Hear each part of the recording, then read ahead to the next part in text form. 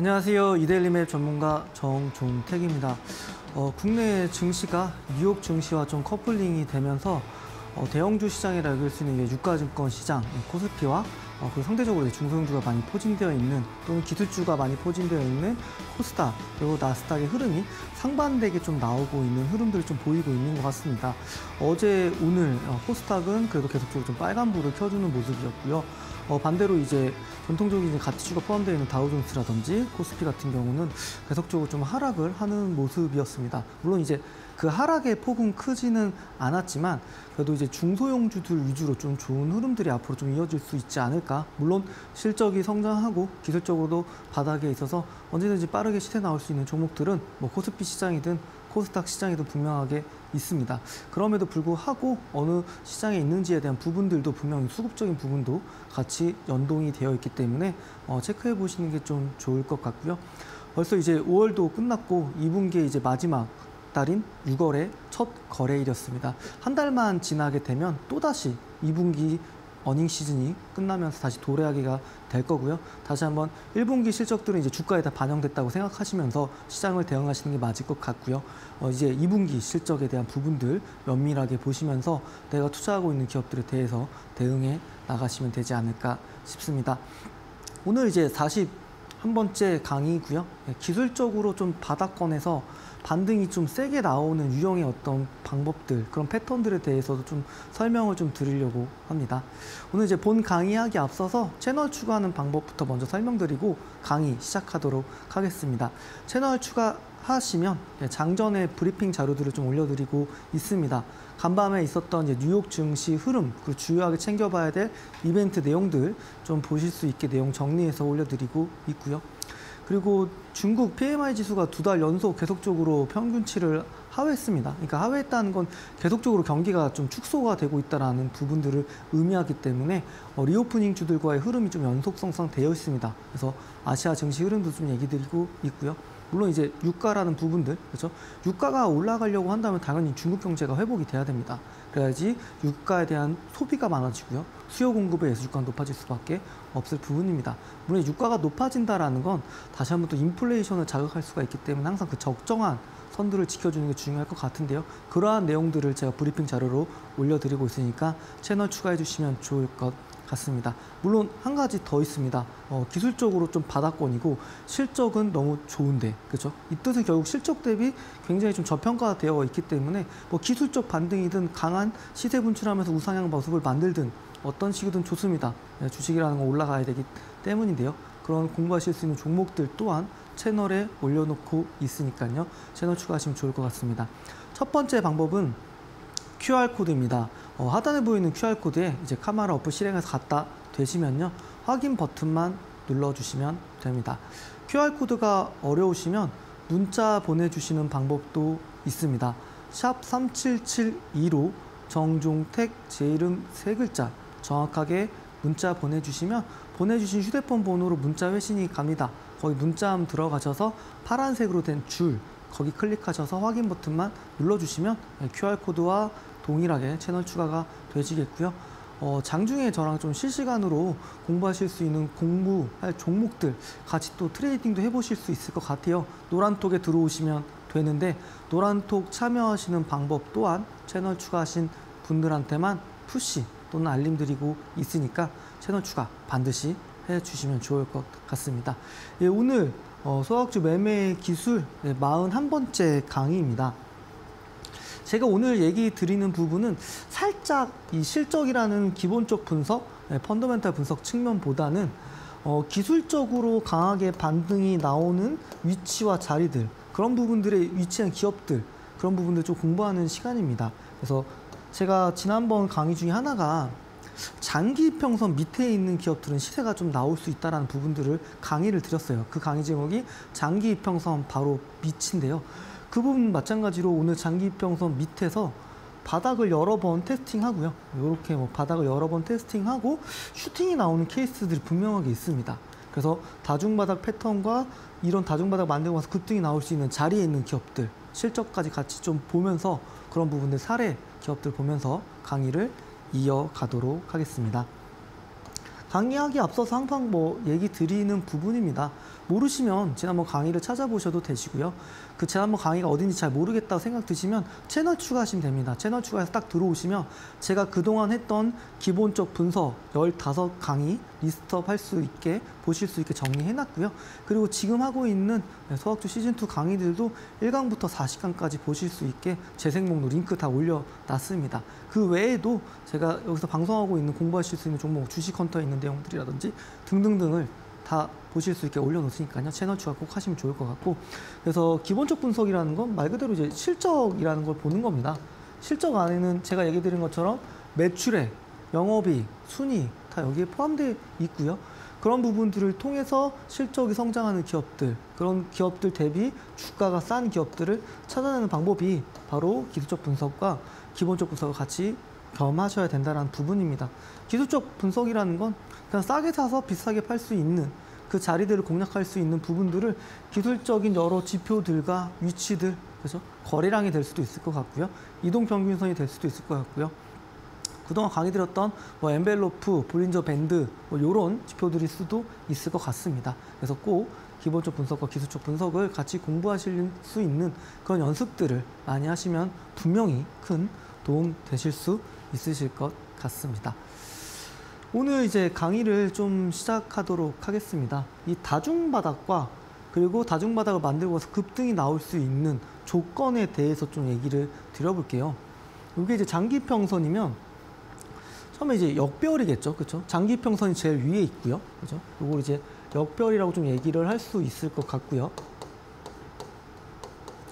그리고 이 역별 과정에서 이격을 좁히는 거죠. 그러니까 캔들이 조금씩 올라오면서 단기 평선을 뚫고 올라오고 이 과정에서 주가가 계속 올라간다고 했을 때 단기 평선이 또 중기 평선 돌파하고요. 그렇죠? 단기 평선이 또 장기 평선을 돌파하고요. 중기 평선이 또 장기 평선 돌파하는 골든 크로스가 계속적으로 나온다고 했을 때 어, 이때가 바로 이제 역배열에서 이격을 좁히면서 그렇죠? 이동평균선이 수렴을 하고 정배열을 만들면서 주가는 계속적으로 올라가는 흐름들을 보인다고 얘기 드렸습니다. 이것도 지난번 강의 중에 주가 생애주기 이론 중에 하나고요. 오늘 저희가 볼 자리는 바로 장기 이평선 밑에서 조금씩 조금씩 꿈틀거리면서 올라오는 기업들입니다. 근데 올라올 때 다중바닥 패턴을 보여야 된다는 겁니다. 다중바닥이라는 건 제가 설명드렸던 거는 뭐 소위 말하는 뭐죠? 쌍바닥, 저 이중바닥이죠. 그리고 뭐 쓰리바닥, 뭐 바닥을 세 번 정도 테스트했는데 이 다중바닥의 핵심적인 내용을 설명드렸던 것 중에 하나가 신뢰도였습니다. 신뢰도. 신뢰도라는 건 만약에 이중 바닥이라고 했을 때 두 번째, 두 번째 바닥이 첫 번째 바닥보다 높게 만들어져야 된다는 부분이 포인트고요. 그리고 만약에 이제 삼중 바닥이라고 했을 때는 첫 번째 바닥보다는 두 번째 바닥이 더 위에서 그렇죠? 그리고 세 번째 바닥이 두 번째 바닥 더 위에서 만들어질 때 신뢰도가 높다라는 부분입니다. 그래서 다중바닥 패턴은 뭐 이중바닥, 뭐 쓰리바닥이 얘기할 수 있지만 결국 핵심적인 거는 저점을 높인다는 겁니다. 저점을 높여 나간다는 부분들을 핵심적으로 이 다중바닥 패턴과 연속으로 결합시켜서 보셔야 되고요. 그래서 그때 이제 수급이 강하게 들어오면서 급등을 합니다. 결국에는 지난번 강의 중에 하나가 또 1차적인 반등은 기술적 반등이라고 얘기를 드렸고요. 그리고 두 번째 찐 반등, 찐 이제 추가 상승은 실적에 기반돼서 올라간다고 얘기 드렸습니다. 그러면서 제가 얘기 드렸던 부분 중에 하나가 장기 평선이 여기고요. 바로 이런 자리에서 기술적 반등이 여기까지 오는 거거든요. 실적이 좋은 기업들은. 그리고 나서 장기 평선을 돌파하고 계속적으로 올라가려고 하는 힘. 이건 결국 뭐 신고가를 경신한다든지 그런 모습일 텐데 결국에는 실적이 뒷받침돼야 된다는 얘기를 드렸습니다. 이 부분도 채널 추가하시면 제가 강의 올려놨으니까 보실 수 있으실 것 같고요. 그래서 오늘은 어, 이 기술적 반등까지 나올 때 강한 슈팅이 나올 수 있는 모습들에 대해서 얘기를 드릴 겁니다. 그리고 2차적인 반등, 찐 상승은 결국에는 실적에 기반한다는 거는 뭐 나중에 또 시간 되면 리뷰 강의를 통해서 또 설명을 드리겠고요. 핵심적인 거 장기 평선에서 주가가 밑에 장기 평선 밑에 주가가 위치해 있어야 되고요. 그 밑에서 단기 평선이 뭐 골든크로스 만든다든지 이중 바닥 또는 삼중 바닥 패턴이 나오는 기업이어야 된다는 이 부분을 반드시 머릿속에 좀 기억해 주시면서 오늘 강의를 들어주신다면 조금 더 또 좀더 높게 이해도를 가져가실 수 있을 거라고 생각이 들고 있습니다. 첫 번째 기업을 좀 보도록 하겠습니다. 오늘 제가 예시로 가져온 기업들이 굉장히 생소하실 수 있습니다. 좀 중소형주다 보니까 어, 대형주 위주로만 좀 공부하시는 분들께서는 어 저런 기업도 있어 생각하실 수 있지만 분명하게 좋은 기업이라는 거 다시 한번 또 얘기를 좀 드리면서 좀 이야기를 풀어가도록 하겠습니다. 그레디언트라는 기업은요, 사실 인터파크라는 회사가 사명을 변경한 회사라고 보시면 됩니다. 실적을 먼저 보겠습니다. 실적을 보면 2019년에 452억 원을 기록을 했고요. 근데 2020년에 당연히 코로나로 인해서 사람들은 여행을 다닐 수가 없었습니다. 적자를 기록했지만 21년에 흑자 전환했고, 그렇죠? 그리고 다시 한번 실적 성장을 했습니다. 이 부분도 제가 강의를 드렸던 부분인데 적자 기업이 그렇죠? 흑자 전환하고 실적 성장하는 기업들은 분명하게 주가가 올라갈 이유가 있습니다. 왜냐하면 실적이 명확하게 보여지고 있기 때문인데요. 마찬가지입니다. 1분기 때 영업이익이 25억 정도가 나왔습니다. 사실 좀 아쉬운 실적이긴 했습니다. 그럼에도 불구하고 여기 제가 오늘 강의에 대한 부분을 포인트를 설명드려보자면 오늘 제가 얘기 드리는 위치들은 다 이 2년 이평선 밑에 있는 기업들입니다. 네. 2년 이평선 밑에 있고요. 여기 보시면 첫 번째 바닥, 두 번째 바닥이 위에서 만들어지면서 그대로 슈팅이 나왔습니다. 여기서 보면 또 뭘 보셔야 될까요? 장대 캔들의 중심값은 중요하다고 얘기를 드렸습니다. 여기 보시면 중심값 지지받으면서 오늘도 한 3, 4% 정도 주가가 좀 올라가는 흐름들을 좀 보였던 것 같아요. 그래서 결국에는 지금 다시 한번 1차적인 기술적 반등을 끝냈습니다. 2차적인 상승을 하려면 결국에는 작년 한 해 영업이익이라고 할 수 있는 146억 원 이상의 영업이익을 올해 보여줘야만이 주가는 지치지 않고 올라갈 겁니다. 그렇죠? 물론 주가라는 건 한없이 원웨이로 올라가지 않습니다. 이런 기업들은 사실 흔치 않고요. 올라가는 과정에서 조정도 나왔다가 이런 흐름들을 반복하면서 올라가게 되어 있습니다. 그렇기 때문에 이러한 작은 조정들은 큰 틀 안에서 실적이라는 큰 틀 안에서 계속적으로 성장하는 기업이라고 한다면 관심은 관심의 끈을 놓지 않고 계속적으로 모니터링하고 트래킹해야 되는 기업이라고 얘기를 드릴 수 있을 것 같아요. 그래서 오늘 조금 전에 설명드렸던 장기 이평선 밑에 1번 조건이고요. 두 번째는 이중바닥 패턴을 만들었고요. 세 번째는 거래량이 들어가는지 한번 보도록 하겠습니다. 그러면 첫 번째 조건 장기 이평선 밑에 있었고요. 그렇죠? 그리고 저점도 사실 조금씩은 높였습니다. 물론 이때 지수 따라 조금 밀리긴 했는데요. 궁극적으로 여기 저점보다는 여기 저점 높이면서 그대로 강한 슈팅이 나왔고 거래량이 계속적으로 실리고 있습니다. 결국 여기서는 이렇게 N자 패턴을 만들 수 있는 힘 또는 장대 캔들 중심값을 지켜줄 수 있는 힘은 결국에는 실적이고요. 음, 아무래도 1분기보다는 2분기, 2분기보다 3분기, 3분기보다 4분기 실적이 좋아질 쪽은 reopening 쪽은 그럴 것 같아요. 그죠? 화장품, 뭐 미용 의료기기, 여행, 그죠? 그리고 뭐 이와 관련된 여행 사업 부부 등등등일 것 같습니다. 그래서 지금 주가는 사실 올해 실적이 좋아질 수 있다라는 2, 3, 4분기 계속적으로 좋아질 그런 기대감들이 반영시키면서 주가가 이 장대 캔들을 이탈하지 않으면서 잘 지지받고 올라가고 있다는 부분들 포인트를 좀 보시면 좋을 것 같습니다.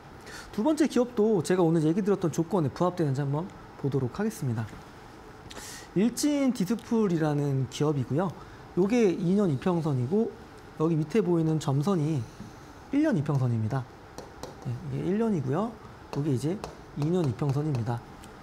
첫 번째로 예, 바닥을 만들면서 한번 시세가 났다가요. 그렇죠. 이렇게도 한번 보실 수도 있을 것 같긴 한데 전체적인 틀에서는 첫 번째 바닥. 그렇죠? 그리고 시세 분출됐다가 이렇게 가격 조정을 계속 받았죠. 그리고 다시 한번 바닥을 만들었고 살짝 다시 한번 바닥을 또 만들었습니다. 어떻게 보면 전반적으로 저점이 조금씩 높아지는 모습을 좀 보인다는 거 보실 수 있을 것 같고요. 여기 보시면 이동평균선들이 모이기 시작했습니다. 그러면서 주가는 강하게 어제 큰 시세를 분출됐고 수급이 들어왔다는 것도 확인하실 수 있으십니다. 근데 공통점 중에 하나가 사실 그레디언트와 이 회사의 좀 공통점은 작년에 실적이 분명하게 좋아졌다는 거거든요. 22년 그레디언트의 연간 영업이익은 146억이라고 했을 때는 21년 대비해서 꽤나 큰 폭으로 성장을 했습니다. 그죠? 다섯 배 넘는 실적 성장을 했는데 이런 부분들 자체도 지금 주가가 반영이 안 됐기 때문에 강한 슈팅이 나왔다는 겁니다.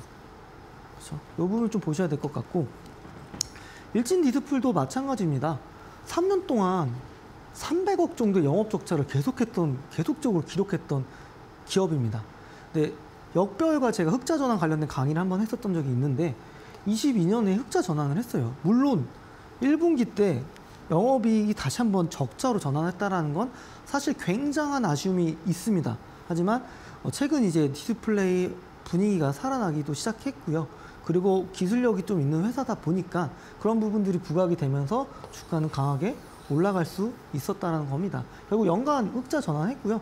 올해 1분기 실적이 살짝 미스나기긴 했지만 어, 이런 부분들보다는 앞으로 2, 3, 4분기 계속적으로 좋아질 수 있다는 거 그런 기대감들로 주가가 좀 강하게 슈팅이 나왔고 그동안에 없었던 거래량이 어제 나왔다고 좀 확인하실 수 있으실 것 같습니다. 그레디언트도 보시면 그동안에 없었던 거래량이 나왔습니다. 네. 이런 것들이 굉장히 좀 핵심적인 내용이 될 것 같고요. 세 번째 기업도 한번 보도록 하겠습니다. 이제 메디아나라는 기업인데요. 어, 이제 뭐 원격 의료라든지 좀 아이템이 굉장히 좀 많은 회사다 보니까 제 개인적으로는 어, 끼가 굉장히 많은 좀 기업이라고 좀 얘기를 드렸습니다. 여기 보시면 연간 영업이익을 보시게 된다면 계속적으로 크게 성장은 했어요. 보시면 2019년은 전년 동기 대비해서 100%두 배 성장했고요.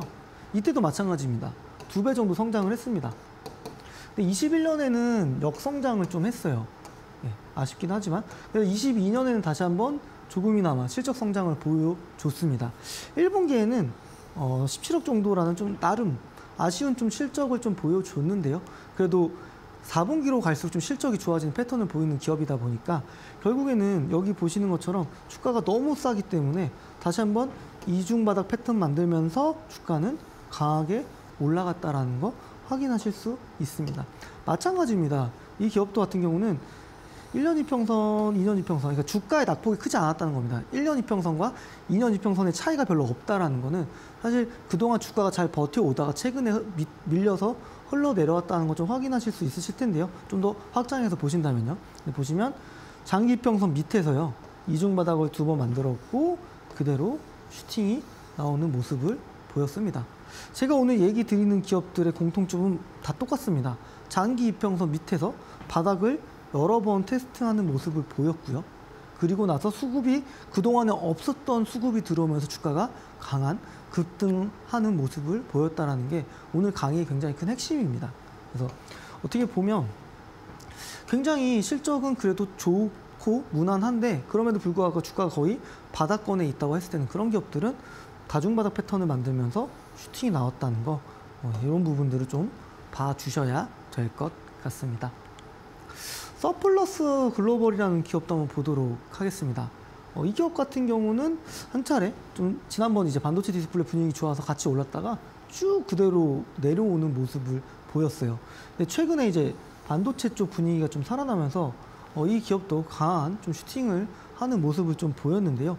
보시면 이 당시만큼의 거래량은 아니지만 그래도 어떻게 보면 올해 3월 이후로 가장 큰 거래량이 실리면서 주가는 올라갔습니다. 사실 장기 이평선 밑에 있어서 굉장히 좀 짧은 찰나에 시세가 났던 부분은 분명하게 있습니다. 첫 번째 어, 그동안에 있던 바닥 그죠? 여기 선 한번 그어보시면 딱 이 지지선이에요. 그죠? 지난 전저점을 크게 이탈하지 않는 선에서 바닥을 만들었고 시세 한번 났다가 조정받으면서 재차 큰 시세가 나는 모습이었습니다. 동사는 사실 이제 반도체에 들어가는 이제 장비들을 중고 장비를 사와가지고 수리해서 재판매하는 기업이고요. 이런 부분들 때문에 이제 중국이 미국으로부터 제재를 받고 있지만 그런 부분들의 수요, 수요들, 그죠? 그리고 용인의 대규모 이제 반도체 클러스터 단지가 만들어질 때 거기에 그럼 중고 장비들이 어마어마하게 거래가 될 텐데 마치 어떻게 보면 반도체 중고 장비의 당근 마켓 같은 기업이라고 보시면 되겠죠. 근데 실적도 나쁘진 않습니다. 어, 21년에 실적은 300억인데 전년 동기 대비해서 한 100% 정도 성장했고요.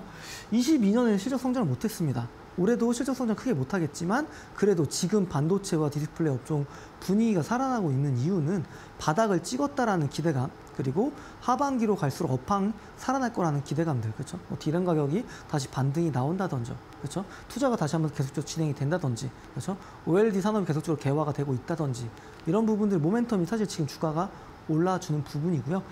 이런 부분들 주가 올랐다 다시 한번 내려올 수 있습니다. 근데 이 내려올 때 지난 저점을 깨지 않으려면 결국 실적이 좋아야 됩니다. 어, 1분기 그리고 2분기 바닥 찍는 거 그 정도는 다 시장에서는 용인해 줄 것 같습니다. 반도체와 디스플레이에 대해서는요.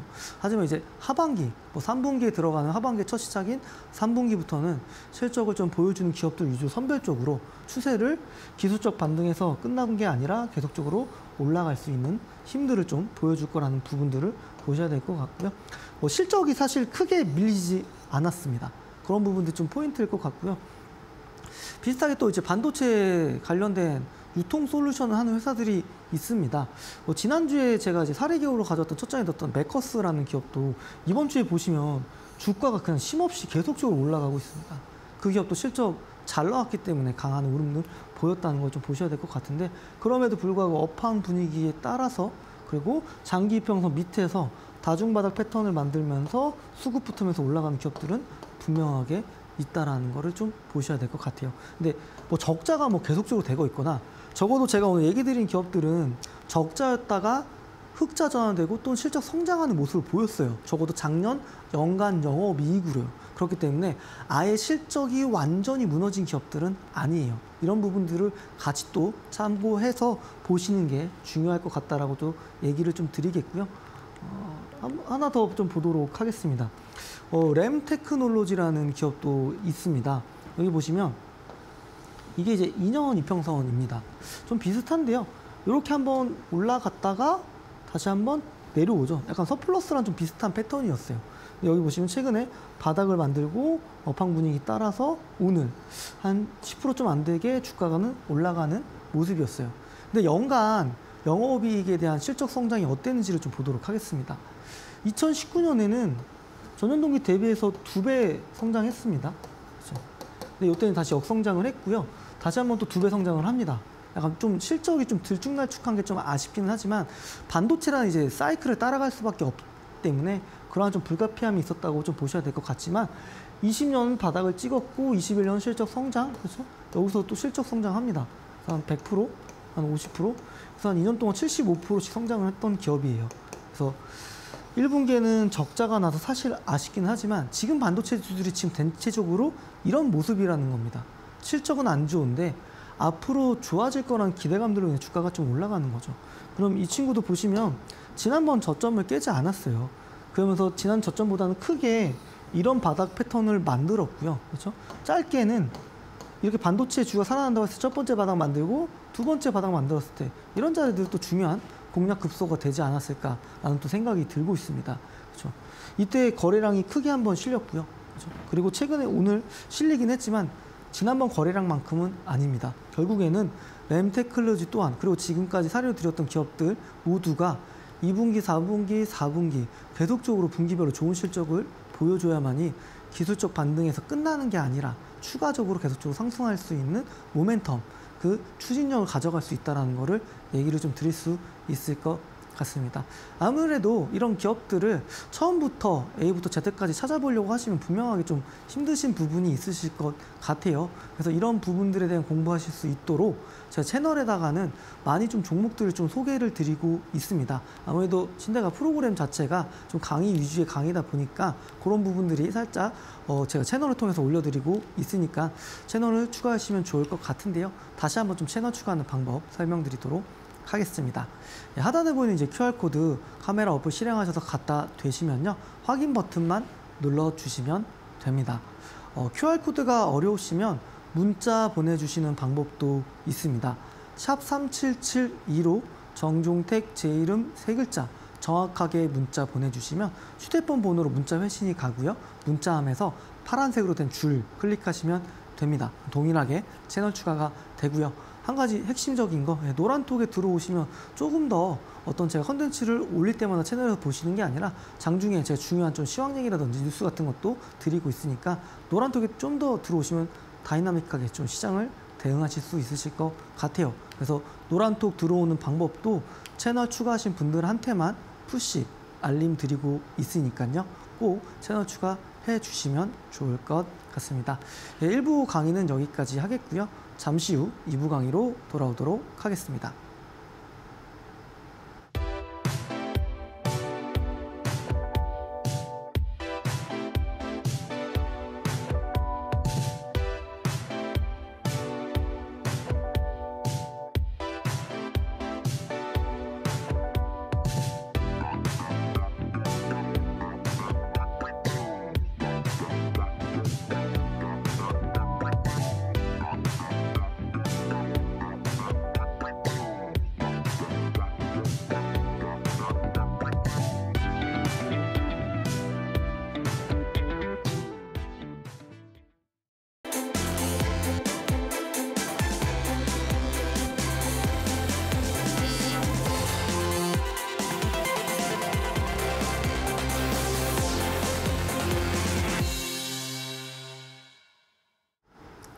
네, 지금까지 설명 들었던 기업들은 좀 반도체 기업도 있고요. 또 뭐 원격으로 관련된 기업도 좀 있었습니다.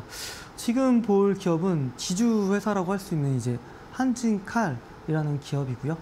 어, 최근에 이제 대한항공과 아시아나 합병 이슈가 무산될 수도 있다는 부분들이 좀 있어요. 그래서 글로벌적으로 각 국가한테 좀 허가를 받아야 되는데 승인이 좀 안 나고 있는 이슈들로 인한 좀 부침이 있었던 좀 기업이라고 보셔야 될 것 같은데 주가는 부침은 없었습니다. 오히려 이런 어떤 경영권 분쟁 이슈가 좀 재발될 수 있다는 우려감들로 인해서 한질칼의 어떤 주가는 오히려 고공행진하는 모습을 보였는데요. 사실 지주회사다 보니까 저는 크게 실적에 대한 의미는 없다고 생각을 하고 있습니다. 그럼에도 불구하고 실적을 한번 보도록 하겠습니다. 뭐 코로나 때 당연히 분위기는 안 좋았기 때문에 어마어마한 적자를 기록했습니다. 매출액도 보시면 3분의 1 토막이 났습니다. 그렇죠? 적자는 어, 그동안에 없었던 사상 최대 적자를 기록하면서 최악의 스코어를 보였고요. 어, 2021년에는 다행인 건 매출액은 줄어들었지만 적자폭을 많이 줄여냈다라는 부분입니다. 그리고 22년에는 다시 한번 실적이 예, 성장을 했고요. 그리고 영업이익도 흑자 전환을 했습니다. 2018년만큼의 흑자는 기록할 수는 없을 것 같아요. 당분간은요. 그럼에도 불구하고 이 회사는 그냥 기술적으로 보는 게 좀 맞다고 생각이 들고 있습니다. 여기 보시면 1차적으로 장기 평선을 돌파하려고 했는데 좀 힘이 좀 부족했죠. 거래량도 좀 이전보다는 조금 높아지기는 했으나 어, 계속적으로 좀 주가를 끌어올릴 만한 수급 모멘텀은 약했던 것 같습니다. 그리고 주가는 계속적으로 좀 하락하는 모습을 보였다가 여기 보이는 자리가 1년 이평선 자리, 그렇죠? 그리고 이 2년 이평선 자리, 그렇죠? 이 갭에서 계속적으로 주가 캔들이 움직인다고 확인할 수 있습니다. 여기 보시면 이 자리가 되게 중요한 포인트였던 것 같아요. 한번 올라가다가 눌러줬습니다. 그렇죠? 눌러준 다음에 주가는 연일 강세 모습을 좀 보였다는 것을 확인하실 수 있으실 텐데요. 결국 뭐 그런 이제 경영권 분쟁 이슈가 다시 한번 재발됐을 때는 우려감들이 주가를 좀 올려주기는 했지만 거래량도 사실 그동안에 없었던 거래량이 나오기 시작했습니다. 1분기 영업이익 112억 원입니다. 그러면 작년 한 해 영업이익의 상당 부분을 1분기 때 걷어냈는데 이 부분은 살짝 좀 더 연결 재무제표다 보니까 좀 디테일하게 보실 필요는 있을 것 같아요. 그래서 기술적으로는 우선 강한 반등이 굉장히 세게 나왔다는 거 확인하실 수 있을 것 같아요. 근데 일전에 제가 이제 안전마진이라는 강의를 한번 해본 적이 있어요. 그게 이제 1년 이평선을 돌파한 기업은 반드시 2년 이평선까지 간다고 제가 얘기를 드렸는데 보시면 1년 이평선까지 왔다가 2년 이평선 갔습니다. 그렇죠? 그리고 다시 한번 1년 이평선 지지받으면서 이번에는 2년 이평선을 강하게 띄우면서 주가는 세게 올라갔다라는 걸 확인하실 수 있으실 겁니다. 그래서 첫 번째 파동에서 기회를 놓쳤다고 한다면 두 번째를 보면 됩니다. 주가는 계속적으로 흘러내리긴 했지만 1년 이평선에 지지받고 있다는 걸 여기서 확인하실 수 있으시죠. 그렇죠? 그리고 주가가 올라갔다가 이 조정받는 이런 눌림목 자리들 충분히 공략할 수 있는 자리가 되지 않았나 싶습니다. 아무래도 뭐 이 뉴스 나오기 전에 이미 좀 주가가 움직였기 때문에 그럴 때는 좀 충분히 관심 가져봐야 될 자리가 아니었나 싶습니다. 사실 뭐 한질칼이라는 부분은 제가 오늘 사례로 가져왔던 부분은 어떤 실적에 대한 부분들보다는 제로뉴스로 인해서 기술적으로 강하게 반등이 좀 나왔다라는 거를 좀 봐주시면 좋을 것 같고요. 두 번째 이제 JC 케미칼이라는 기업입니다. 이게 이제 바이오 관련된 연료입니다. 그러니까 지금 어, 탄소를 배출하는 화학 연료들은 사용을 이제 앞으로 못하게 될 거고요. 이제 완벽하게 탄소 배출이 없는 친환경 에너지로 갈 겁니다. 그죠? 뭐 풍력이 됐던, 태양광이 됐던, 뭐 자동차 시장에서 뭐 전기차가 됐던, 수소차가 됐던, 이러한 부분에 대한 어떤 엄청난 큰 물결은 아무도 제가 봤을 때는 대항할 수가 없다고 생각이 들고 있는데, 어, 이 기업은 사실 그 중간에 브레, 브리치 정도의 연료를 만드는 회사입니다. 뭐 바이오 연료로 이제 식, 뭐 식물을 통해서 연료를 좀 얻고요. 그런 부분들을 중간에 디젤과 섞어서 바이오 디젤을 합니다. 그런 부분 섞어서 만드는 기업인데 근데 어떻게 보면 그 과도기에서 완벽하게 100% 친환경 에너지 넘어가기 전까지는 필요할 수밖에 없는 에너지라는 겁니다. 왜냐하면 아직까지는 친환경 에너지에 대한 부분들이 명확하게 효율성이 좋지 않기 때문입니다. 근데 여기 보시면 그런 부분들을 실적을 보면 명확하게 아실 수가 있으실 것 같아요. 보시면 2018년 실적은 90억이었고요. 실적은 계속적으로 성장을 하는 모습입니다. 성장의 폭은 둔화되긴 했지만 실적은 매년 계속적으로 성장하고 있고요.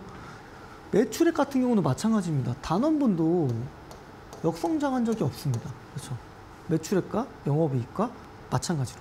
여기 보시면 주가는 그런데 한번 좀 시세가 분출됐다가 지금 조정받고 있었어요. 이게 이제 2년 이평선이고요. 이게 이제 점선이 1년 이평선입니다. 보시면 1년 이평선은 한번 돌파했었죠. 그죠? 그러다가 조정받고 두 번째 바닥을 만들었습니다. 관심 있게 보셔야 되고요. 다시 한번 여기서 또 저점을 높입니다. 그렇죠? 그러면서 슈팅이 나왔습니다. 그렇죠? 1분기 영업도 무난하게 잘 나왔습니다. 그렇게 좋은 실적을 생각하지는 않습니다.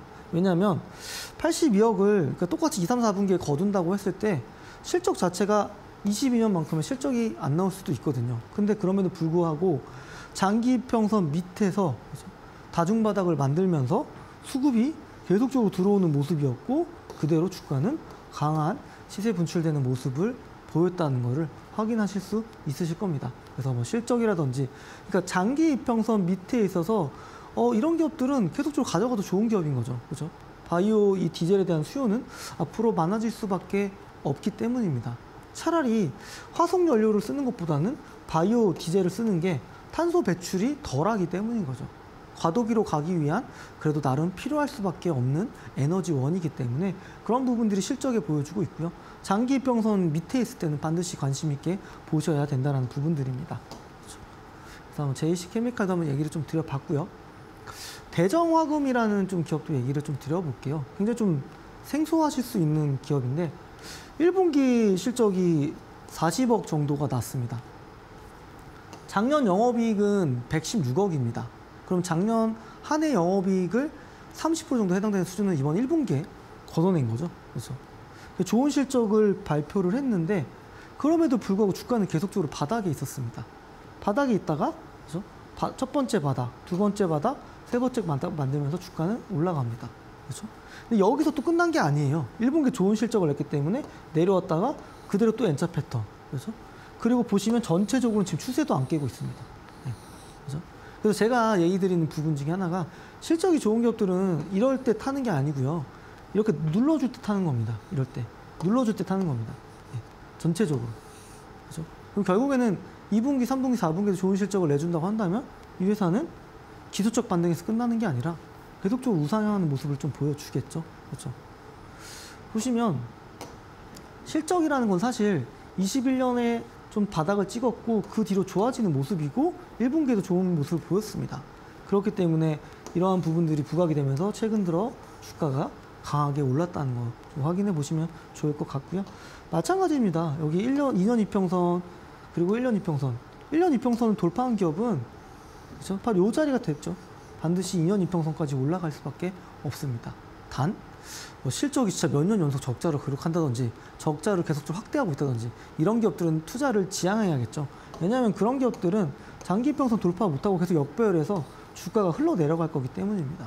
그렇기 때문에 실적이라는 부분들도 최소한 작년 수준만큼 나올 수 있는 어떤 퍼포먼스를 보여주는, 보여줄 수 있는 기업들 위주로 접근하는 게 맞을 것 같습니다.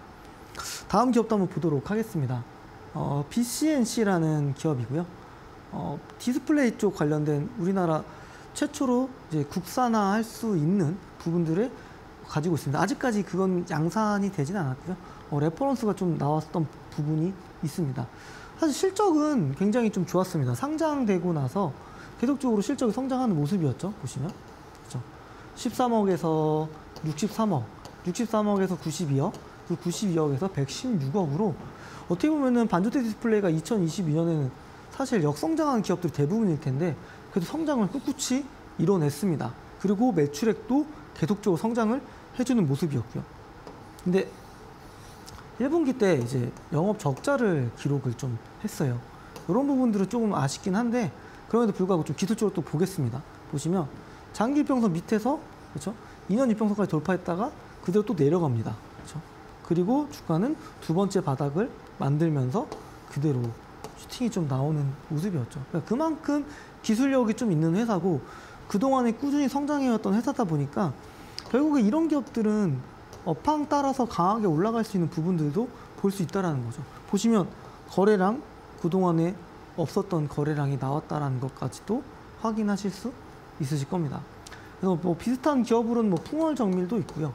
네. 그래서 기술력이 있는 기업들 그리고 꾸준하게 실적이 성장한 reference가 있는 기업들은 반드시 장기 이평선 밑에서 다중바닥 패턴을 만들면서 슈팅하는 모습들이 자주자주 나옵니다.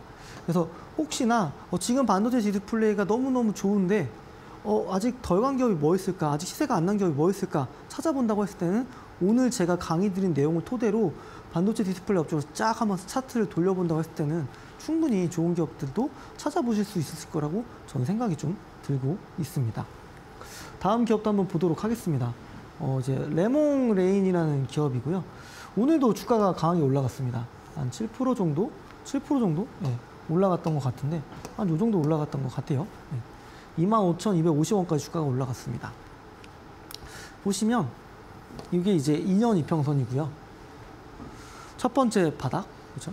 두 번째 바닥, 세 번째 바닥, 그대로 주가는 저점 슈팅 그때 나오죠. 그렇죠? 그리고 슈팅 났다가 또 1, 2년 이평선에서 지지받으면 또 슈팅 나왔잖아요. 한번 실적을 보겠습니다. 작년에 적자를 기록했어요. 작년에 마이너스 63억 원입니다. 근데 올해 1분기에 16억 기록했고요. 이렇게 된다면 올해 그죠 한 64억 정도?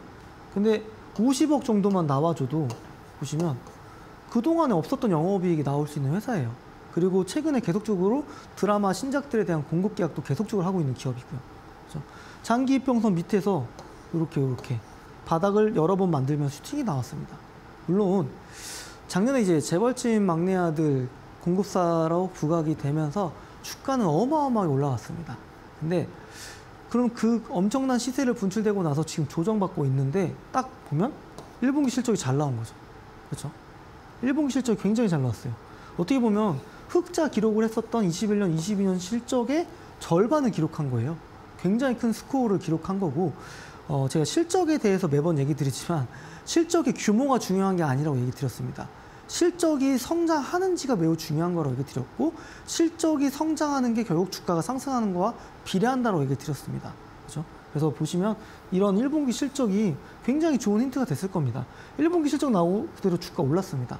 근데 이럴 때 놓쳤다고 아쉬워하는 게 아니라 이런 자리들을 공략해야 되는 거죠. 그렇죠? 이런 부분들을 좀 챙겨보셔야 될 것 같은데요.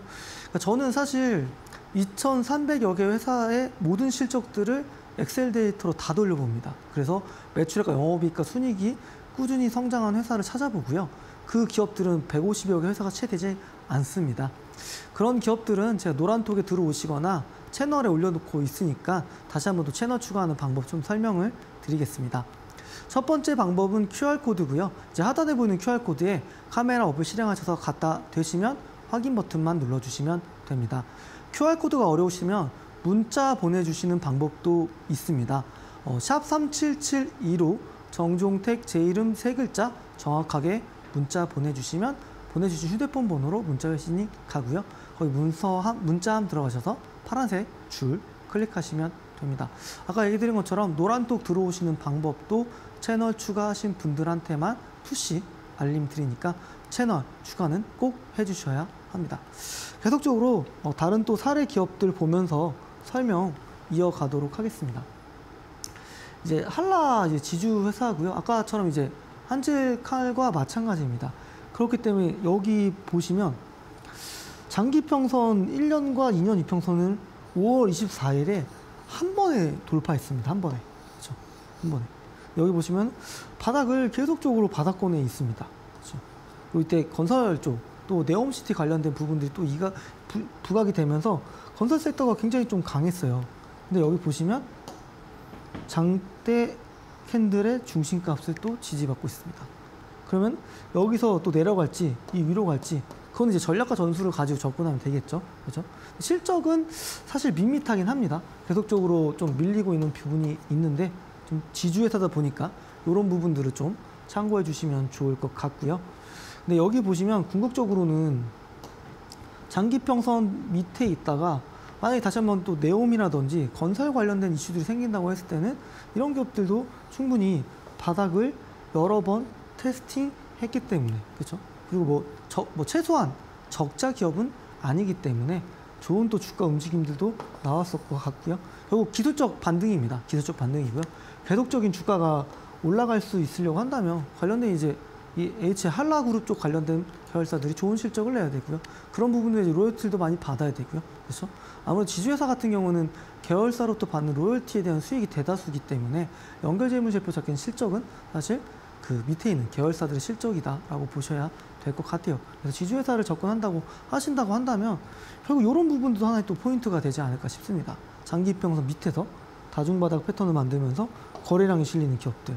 과연 이 기업이 다시 한번 이 2년 이평선 밑에 있기 때문에 또다시 종가 자체를 2년 이평선 위에서 마감할 수 있는 상승 힘을 보여줄지도 계속 좀 tracking 해볼 수 있고 모니터링 해보기에도 좋은 기업이라고 생각이 들고 있습니다. 그래서 뭐 기술적이기 때문에 실적이라는 걸 배제시키고요. 그렇죠? 기술적 부분에 대한 부분이라고 또 얘기를 드리도록 하겠습니다.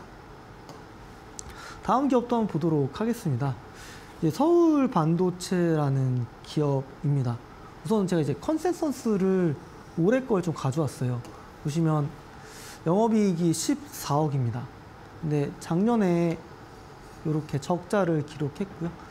그래도 이렇게 실적을 좀 성장하는 모습을 좀 보여줬었는데 이때 적자를 기록했기 때문에 주가가 얼마나 또 계속적으로 바닥을 뚫고 내려가고 있었을까요? 그렇죠? 그래서 장기 이평선 밑에서 계속 헤매던 기업이 보시면 여기에서 2년 이평선 뚫었다가 다시 내려오고 두 번째 바닥을 만들면서 주가는 상승의 힘을 보였습니다.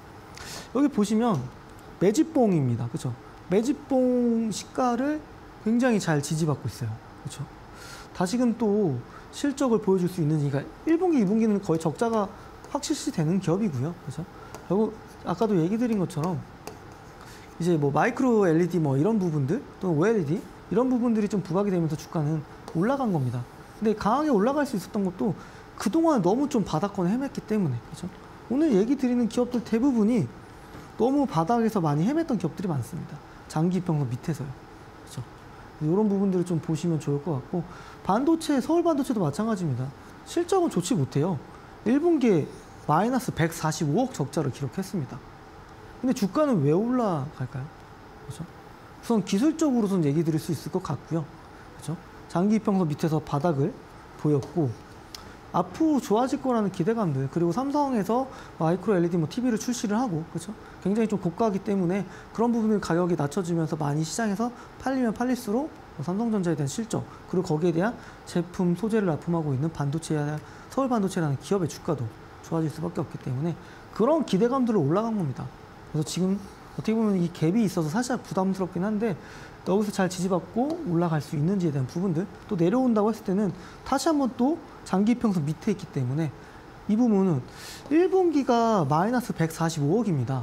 근데 올해 연간 영업이익이 14억 나오려고 한다면 상반기에는 적자, 하반기에는 상반기 적자보다 더 큰 흑자를 내야겠죠. 그렇죠? 그래야만 이 주가는 여기 어, 기술적 반등에서 끝나는 게 아니라 계속적으로 우상향할 수 있는 힘과 모멘텀을 받을 수 있다라는 것을 꼭 보시면 좋을 것 같습니다. 서울 반도체 또 좀 얘기를 좀 드려봤고요. 다음 기업도 한번 보도록 하겠습니다. 화성 밸브라는 기업이고요. 말 그대로 이제 밸브, 피팅 밸브 관련된 회사입니다. 보시면 이때 거래량이 한번 실렸고요. 그리고 이때도 거래량이 한번 실렸고 그때는 장기 이평선 밑에서 한번 시세가 났습니다. 근데 종가 기준으로는 이 2년 이평선 유지된 게 딱 이때밖에 없어요. 올해 한 2월 말쯤. 근데 보시면 첫 번째 바닥, 두 번째 바닥, 세 번째 바닥을 만들면서 그대로 슈팅이 나왔습니다. 그렇죠. 근데 다시 또 주가는 여기 20일 이평선에서 지지받으면서 올라가고 있습니다. 근데 제가 이제 그동안 강의 드렸던 내용들이 다 지금 연결이 되는데요, 사실은. 보시면 이런 부분도 제가 얘기 드렸던 것 중에 이 망치형 캔들과 11일평선, 20일평선 같이 보셔야 된다고 드렸어요. 그렇죠.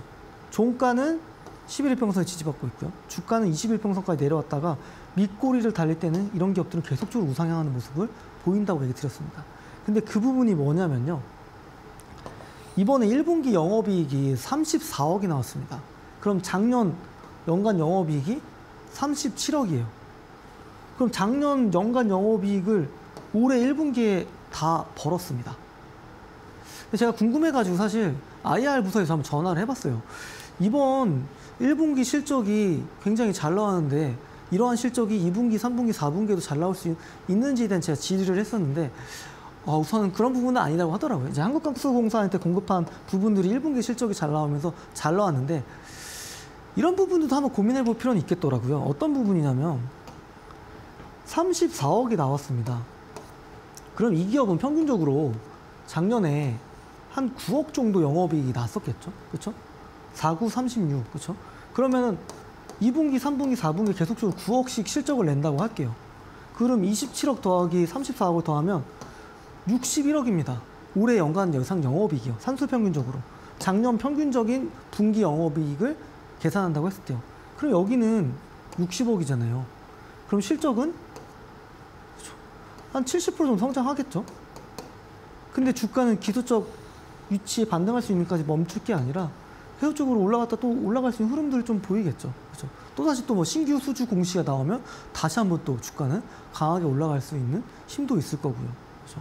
그만큼 이 뭐 실적이 좋았던 기업이었던 것 같아요. 그래서 실적 발표하고 나서도 잠잠했던 기업이 실적이 부각이 되면서 5월 17일 날 20% 가까운 상승을 했습니다. 보시면 매집봉에 대한 시가 제가 강의 드렸던 강의인데 또 여기서 잘 지지받아요.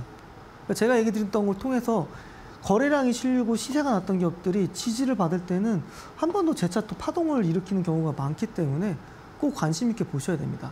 그래서 보니까 제가 이제 강의할 때마다 제가 얘기 드린 사례 기업들을 공부하시는 분들도 많으시더라고요. 참 저는 뿌듯한데 꼭 공부 열심히 하시고요. 그런 부분들 채널 추가하신 분들한테 계속 좀 안내 드리고 있고요. 노란톡에 들어오셔도 좋을 것 같습니다. 구독적으로 또 사례 기업 한번 보도록 하겠습니다. 음, 인터플렉스라는 기업이고요. 22년에 실적 좋았죠. 이제 폴더블 폰에 들어간 이제 디지타이저 스마트펜 요 부분에 대한 부분을 공급하는 회사인데요. 1분기 실적은 살짝 밋밋했어요. 근데 장기 이평선 밑에서 계속 좀 헤맸어요. 작년 실적에 대한 주가도 반영을 못 시켰다라는 거죠, 사실은. 첫 번째 바닥, 두 번째 바닥, 그동안 없었던 거래량 실리면서 주가는 올라가고 있었다라는 걸 확인하실 수가 있겠죠. 보통 이런 이런 이제 기술적 반등은 대부분 장기 이평선 밑에서 많이 나옵니다. 그래서 장기 이평 밑에서 다중바닥 패턴을 만드는 기업들은 또 관심 있게 찾아보시는 게 좋을 것 같고요. 물론 제가 생각하는 디스플레이는 OLED와 foldable 쪽에 exposure가 있는 기업들은 분명 기회가 많습니다. 그러니까 올해 당장 실적이 아니더라도 뭐 내년 실적으로 충분히 좋아질 수가 있고요. 그리고 22년 실적에 대한 부분도 이미 반영시키지 못한 주가이기 때문에 기술적으로도 강력한 슈팅이 나왔다라는 거죠. 이런 부분들도 좀 보시면 좋을 것 같고 에이텍 모빌리티도 마찬가지입니다. 그렇죠? 바닥, 바닥, 바닥. 근데 올해 1분기 영업 이익은 한번 제가 숙제로 드리겠습니다. 한번 찾아보세요. 이 기업이 앞으로 주가가 어떻게 흘러갈지도 한번 관심 있게 보시는 것도 좋을 것 같습니다.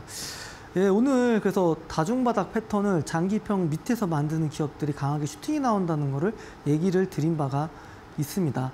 그래서 이런 부분들은 반드시 알아두시면 좋을 것 같고, 어, 그래서 실적이 좋은 기업들은 크게 밀리지 않는다고 했을 때는 이런 분명 탈출의 자리도 준다라는 걸 좀 포인트로 알아두시면 좋을 것 같고, 처음부터 잘하실 수 없습니다. 공부, 예, 공부에 대한 스터디를 많이 하셔야 된다는 생각이 들고 있습니다. 그런 부분들은 제가 차근차근히 좀 알려드릴 테니까요. 채널 추가해 두셔서 저랑 좀 접점을 넓혀 나갔으면 좋겠습니다. 마지막으로 채널 추가하는 방법 설명드리고 마무리하겠습니다. 첫 번째 이제 QR코드입니다. 어, 카메라 어플 실행하셔서요. 하단에 보이는 QR코드 갖다 대시면 확인 버튼만 눌러주시면 됩니다. QR코드가 어려우시다면 문자 보내주시는 방법도 있습니다. 샵 3772로 정종택 제 이름 세 글자 정확하게 문자 보내주시면 문자 보내주신 휴대폰 번호로 문자 회신이 가고요. 문서함 들어가셔서 문자함 들어가셔서 어, 파란색 클릭하시면 됩니다. 그리고 노란 톡 들어오시는 방법도 채널 추가하신 분들한테만 설명, 푸시 알림 드리니까 꼭 채널 추가하시면 좋을 것 같고요. 아무래도 이제 다음 주까지는 어, FMC 전이기 때문에 큰 이벤트가 없습니다. 종목 장세가 될 것 같아요. 결국 핵심은 실적 좋고 기술적 바닥에 있는 기업들 잘 접근하는 게 핵심적인 내용이라는 거 얘기를 드리면서 오늘 강의는 이상으로 마무리하도록 하겠습니다. 감사합니다.